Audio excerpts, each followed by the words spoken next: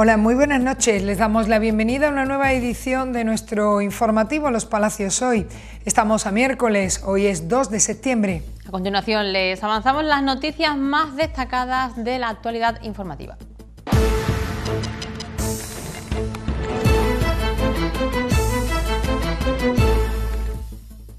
La comisión organizadora de la octava Dual Long Cross Villa de los Palacios y Villafranca y el ayuntamiento reconocen al atleta local Rafael Curado Tejero por su trayectoria deportiva, un acto en el que también se presentó el cartel anunciador de la citada prueba.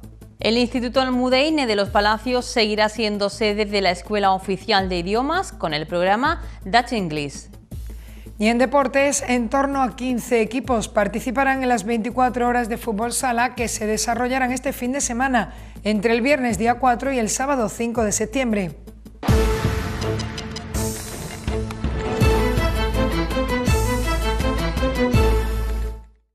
La comisión organizadora de la octava Dual Long Cross Villa de los Palacios y Villafranca y el ayuntamiento reconocieron anoche al atleta local Rafael Curado Tejero por su fructífera trayectoria deportiva en los últimos 25 años.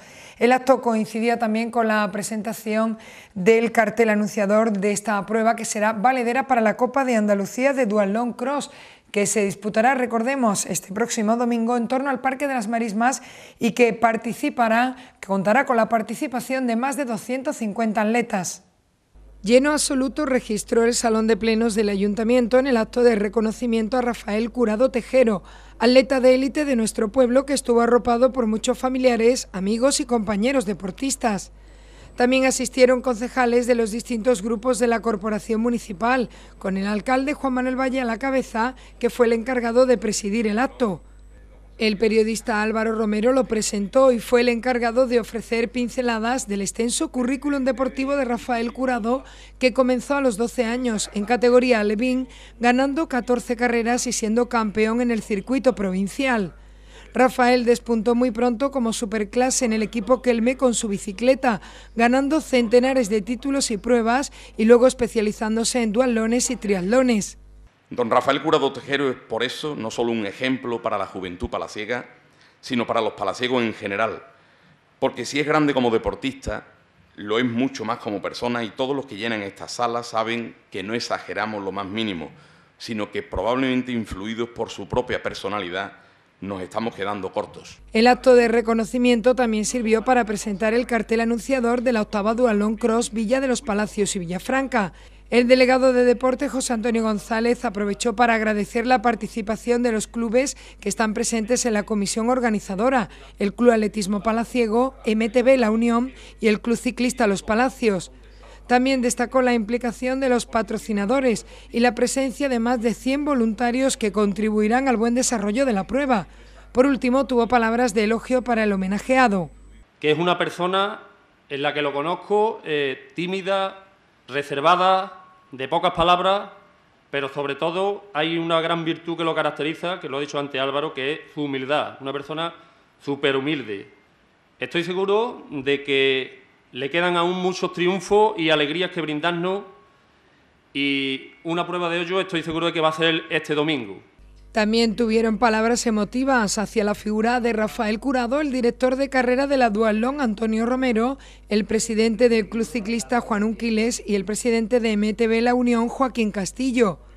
Por su parte, el presidente de la Federación Andaluza de Triatlón, José María Merchán, destacó el gran esfuerzo de los clubes y del Ayuntamiento Palaciego para desarrollar esta prueba tan relevante dentro del calendario nacional. Es un esfuerzo el que hacen todas, no solamente los que estáis aquí presentes, sino vuestras familias que, que soportan esas horas de trabajo y sacrificio que hacéis a esta organización y desde aquí pues transmitiros la, enhorabuena y, y que sigáis luchando. ¿no? Y bueno, ya Rafael, pues decir que eh, lo conozco poco, ¿no? Pero lo que veo aquí, ¿no? Que es lo más importante, ¿no? Y que todo el mundo destaca, ¿no? Es, su, honestidad y, sobre todo su humildad, ¿no? Yo creo que independientemente de los triunfos que haya conseguido, que seguro que ha conseguido muchísimo y va a conseguir muchísimo más, yo lo que eh, les recomiendo es que se quede ¿no? pues, con este pleno lleno de personas ¿no? que te apoyan. Seguidamente fue la hermana del atleta reconocido, María Nieves Curado, la que dirigió a los presentes unas palabras muy emotivas. Todos los que estamos aquí, sus amigos íntimos y toda nuestra familia, estamos orgullosos de este reconocimiento de mérito hacia Rafael Curado Tejero porque se lo merece, porque es un campeón. Y yo hoy te digo, Rafa, que tú formas parte de la historia de los Palacios y Villafranca. Tú has hecho historia. La organización de la Dual Long Cross y el ayuntamiento hicieron entrega a Rafael Curado del dorsal número uno de la prueba que se disputará este domingo. Asimismo, le entregaron el cartel anunciador donde aparece su imagen a modo de reconocimiento. No me quiero pasar por alto esta noche a mis hermanas, ¿no? Y Mariñé Bichari, a mi hermano Sergio. También quiero dar las gracias a mi familia, a mis tíos, primos, sobrinos, amigos del trabajo que han venido, ¿no? Al pueblo general, ¿no? por acompañarme en este momento tan especial para mí, ¿no? Me siento orgulloso de cuando voy a una competición, ¿no? Y suena el nombre de mi pueblo, ¿no? En cualquier sitio, ¿no?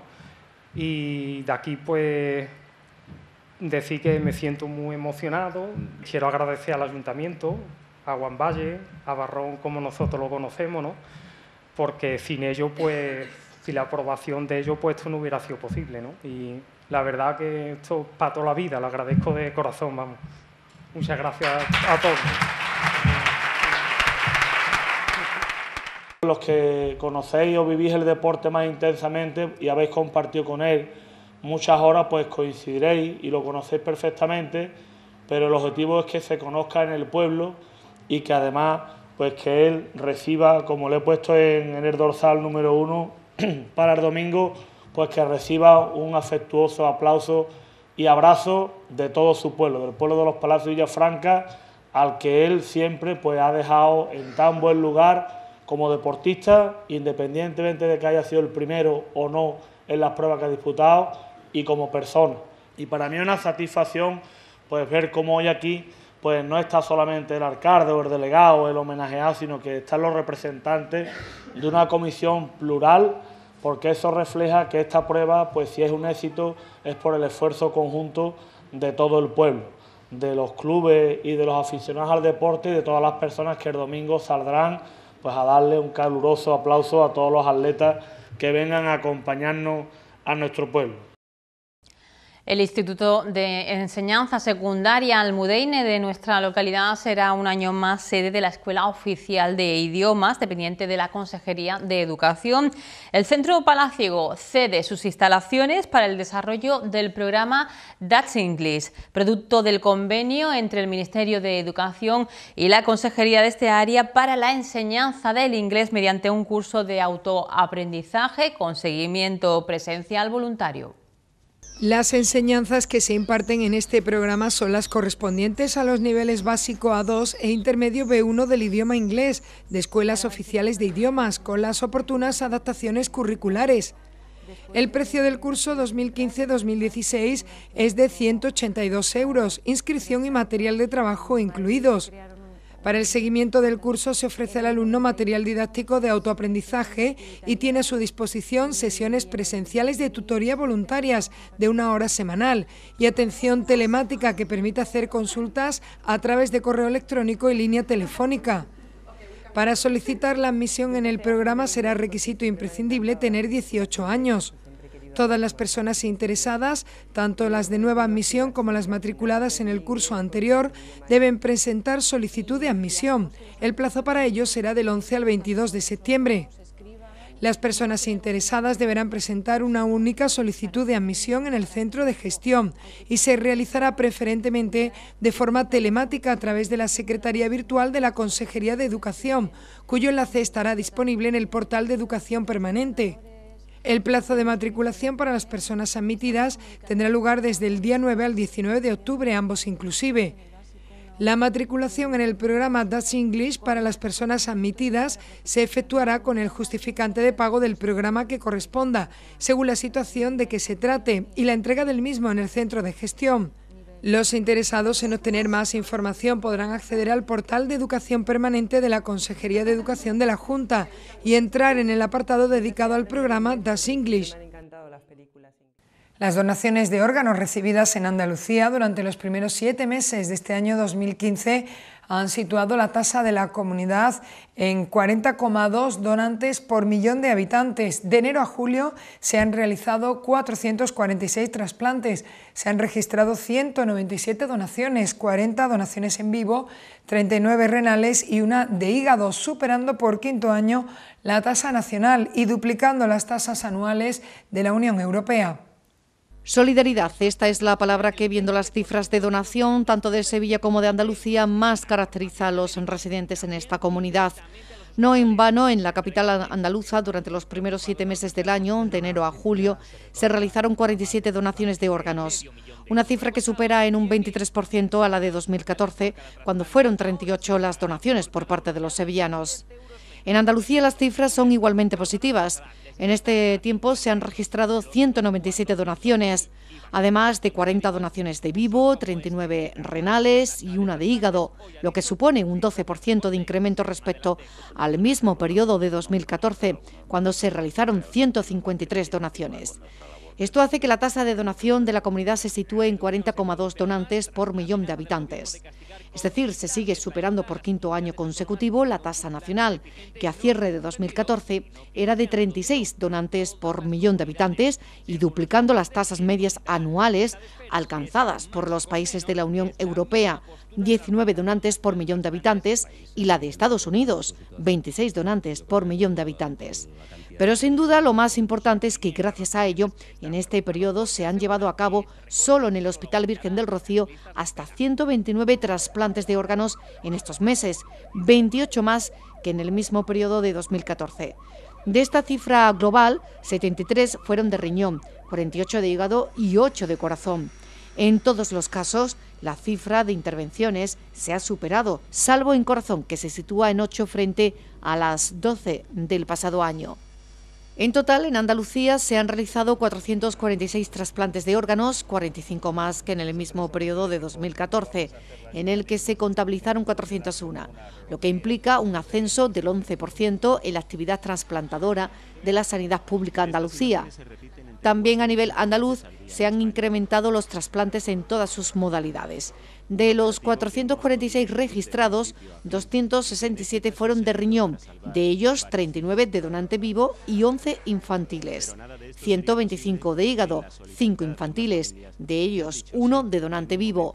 20 de corazón, 2 infantiles, 21 de pulmón y 13 de páncreas fruto de las campañas de concienciación andaluzas y el consecuente aumento de las donaciones, se está consiguiendo un descenso progresivo del número de pacientes que esperan un trasplante en los últimos años.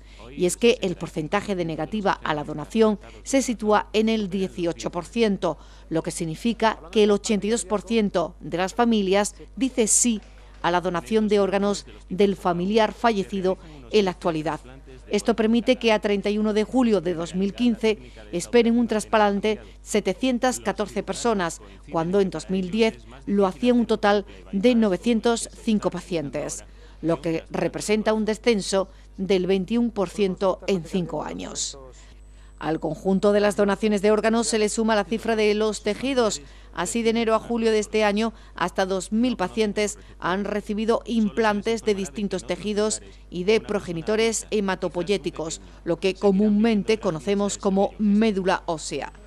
En concreto, los hospitales públicos andaluces han realizado cerca de 300 trasplantes de córneas, más de un millar de implantes de tejidos osteotendinoso, cerca de 70 implantes de membrana aniótica, una veintena de homoinjertos vasculares y valvulares y más de 300 trasplantes de médula ósea. La venta de coches no se ha visto frenada en el periodo vacacional. El mes de agosto registró un incremento de las ventas por encima del 21% en los puntos de venta de la provincia de Sevilla, contabilizando 1.752 unidades matriculadas. De ellas, 1.443 se correspondieron con el mercado de clientes particulares, lo que supone una mejora del 18% en comparación con el mismo mes del pasado año. Sin embargo, y aunque en cuantía es mucho menor, destacó el comportamiento del canal Empresas, que adquirió 309 turismos y todoterrenos, lo que se traduce en un incremento del 43,7%. Esta tendencia positiva se consolida en lo que va de año, ya que entre enero y agosto las matriculaciones ascendieron hasta los 16.660 vehículos, un 26% más que los contabilizados en los primeros ocho meses de 2014. Con una mejora del 66%, fueron las empresas de alquiler de coches las que mayor incremento experimentaron, frente al avance del 19% de las compras de particulares. En el conjunto de Andalucía se vendieron un total de 7.633 coches en agosto, con un incremento del 23% interanual y una cuota del 13,7% nacional. En lo que va de año, la buena salud del sector se tradujo en unas ventas de 73.704 unidades, el 25,7% más que en el periodo de enero a agosto de 2014.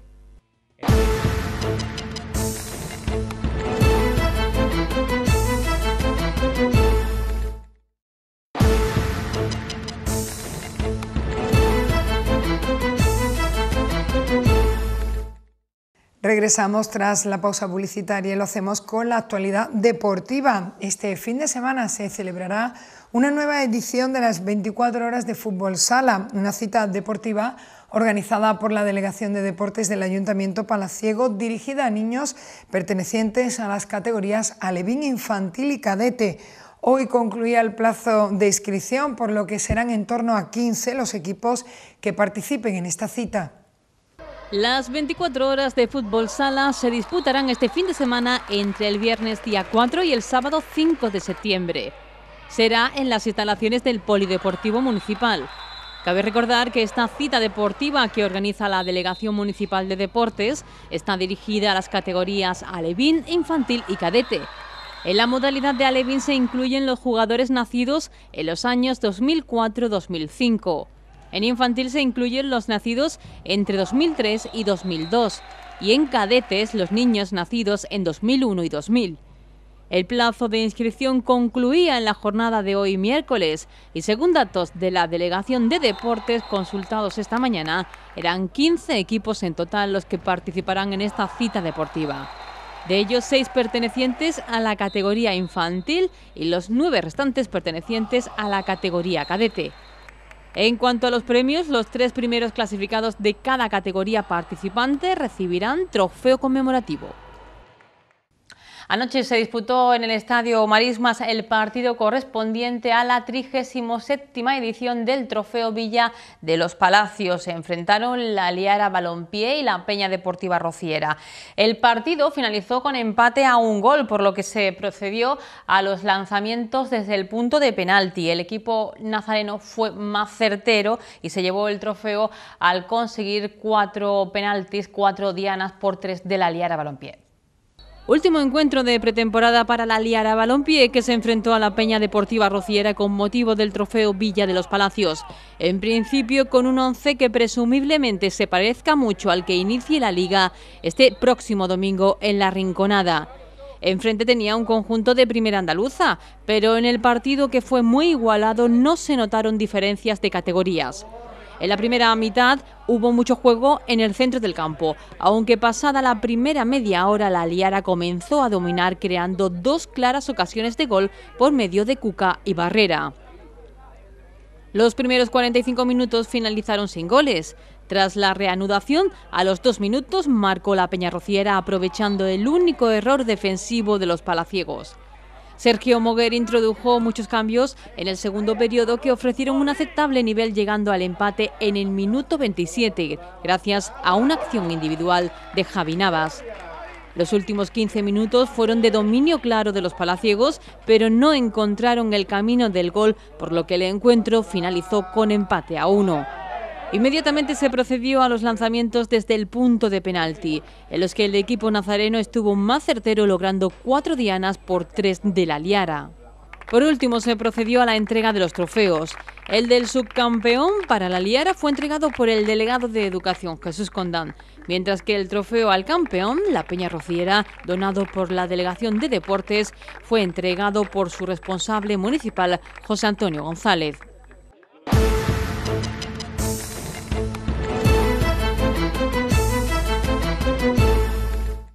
Pues esto ha sido todo en cuanto a la actualidad deportiva local. Dejamos el deporte y nos centramos en el tiempo.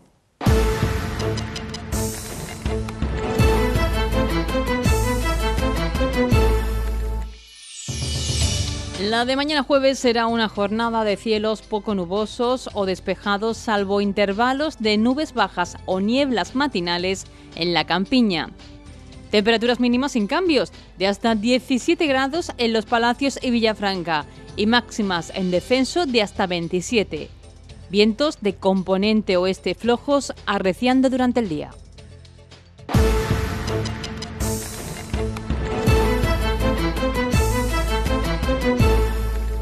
Con la previsión meteorológica ponemos el broche final a esta edición informativa.